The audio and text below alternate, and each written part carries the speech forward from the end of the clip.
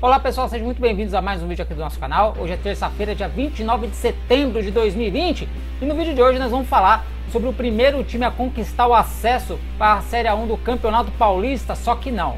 É exatamente, o jogo entre São Bernardo e São Bento foi interrompido aos 29 minutos e alguns segundinhos do segundo tempo, o jogo paralisado e daqui a pouquinho, após a abertura, eu trago todos os detalhes para você do que aconteceu nesse jogo do São Bernardo e do São Bento.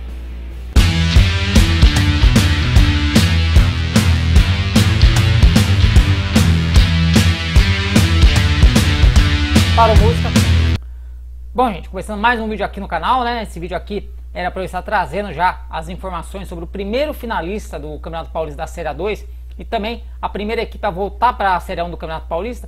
Porém, né, o jogo São Bernardo e São Bento foi interrompido aos 29 minutos e alguns segundinhos do segundo tempo, né? Tudo por conta de uma forte neblina que atingiu lá o estádio 1 de maio em São Bernardo do Campo. A, a arbitragem parou o jogo por cerca de uma hora não houve melhora na, na situação climática e a partida foi é, suspensa, né? Volta até a, a esse momento a informação que eu tinha é que essa partida será retomada a partir dos 29 minutos nesta quarta-feira, às 3 da tarde, no mesmo local.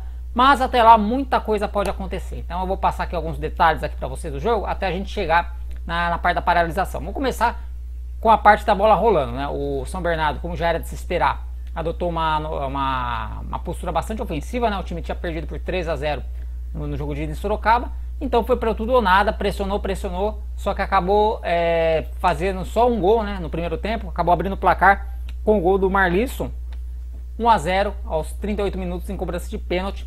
São Bernardo então descontando um gol que havia sofrido. Então, o jogo foi para o intervalo. Na volta já do pro segundo tempo, já havia ali uma sinais de neblina, né? Mas a partida foi se desenvolvendo, foi rolando. O São Bento melhorou no segundo tempo, né? o São Bento estava muito recuado na, na, primeira etapa. O técnico Edson Vieira fez algumas alterações, né? o São Bento melhorou no segundo tempo, passou a criar um pouquinho mais de oportunidade, passou a visitar um pouco mais o ataque do adversário. Enquanto o São Bernardo né, já começou aquela luta contra o tempo, né? o tempo passando, 10, 20, 25, não houve parada técnica no segundo tempo. Até que aos 29 minutos, ali uns 20 segundos mais ou menos, quando o São Bento tinha uma falta próxima à lateral da área do São Bernardo, a arbitragem paralisou né, o, o jogo, porque não dava para ver mais nada praticamente dentro de campo. Né? É, muito difícil você enxergar de uma lateral até a outra. As imagens da TV mostraram aí, como vocês podem ver, uma forte neblina. E a arbitragem parou né, o, o jogo e deu lá 30 minutos iniciais né, para ver o que, que, ia acontecer. E depois deu mais 30. Mas vamos lá agora a, a parte da discórdia. O jogo oficialmente foi paralisado aos 29 minutos. O que, que isso quer dizer? Que se de repente a arbitragem tivesse autorizado a cobrança de falta e o lance seguido ali por mais alguns segundos e o jogo passasse dos 30 minutos do segundo tempo, pelo regulamento a, arbitra a arbitragem já poderia dar a partida como encerrada. Né? E aí ia gerar muita reclamação, evidentemente, por parte do São Bernardo, que tinha plena condição ali de continuar tentando os dois gols que faltavam para pelo menos levar o jogo para os pênaltis. O São Bento, por sua vez, queria jogo. Por quê? Porque tem compromisso pela Série C no próximo, na próxima sexta-feira já, 8 da noite no Novelli Júnior contra a equipe do Ituano. Então São Bento queria porque queria continuar, que a, que a partida continuasse, né, a diretoria do São Bento pressionando para que a arbitragem esperasse um pouco mais para tentar aí seguir com a, com a partida.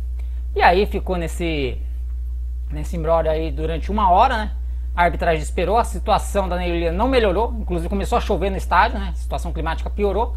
E até que depois de uma hora chegou a informação que a Federação Paulista determinou, né? Ainda não, no momento que eu estou gravando esse vídeo, não saiu nenhuma nota oficial da Federação Paulista, mas foi informações que a, a imprensa que estava no, no estádio passou, que a Federação Paulista então determinou que esse jogo fosse suspenso e retomado a partir dessa quarta-feira, 3 da tarde, a partir dos 29 minutos. Né? Vai continuar de onde parou.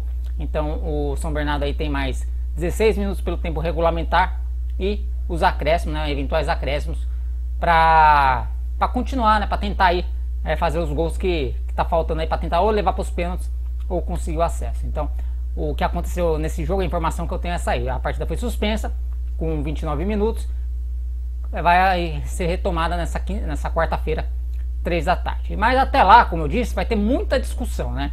Porque o São Bento agora vai ter que ou convencer a CBF a mudar o, o, jogo contra o Ituano, né?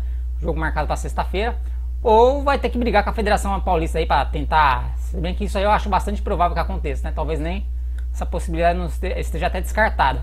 É dar o jogo por encerrado, né? Mas eu acredito que isso aí vai, vai ser muito difícil acontecer. Bom, com relação ao, ao calendário do São Bento na, na Série C. Se a, há calendário na Série C para você é, de repente passar esse jogo contra o Ituano para o sábado, para o domingo, até para segunda-feira. Por quê?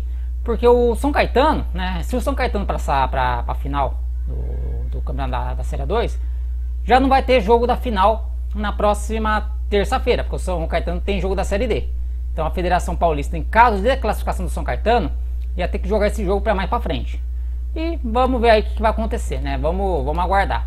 O, como eu dizia, no calendário da Série C, o São Bento tem jogo na sexta contra o Ituano.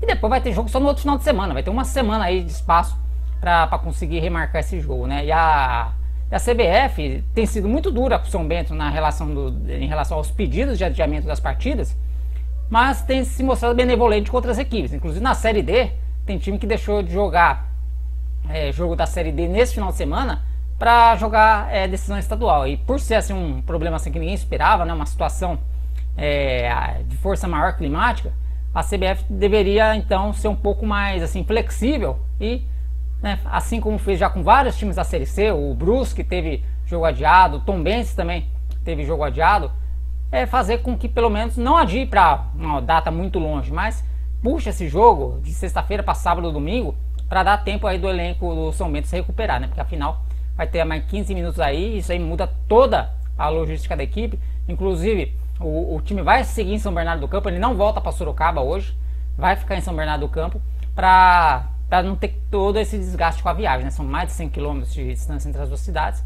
Inclusive vai haver até uma força-tarefa, porque a equipe só levou um jogo de camisa branca né, para a partida, então vão ter que lavar esses uniformes durante a noite, secar para estar tá pronto para o jogo de amanhã.